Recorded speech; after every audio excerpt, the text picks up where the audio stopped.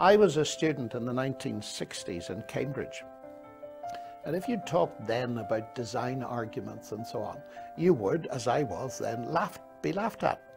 But now we've lived through a lengthy period of time where the physicists and the cosmologists have come up with so-called fine-tuning arguments. It's mainstream science. It demands an explanation.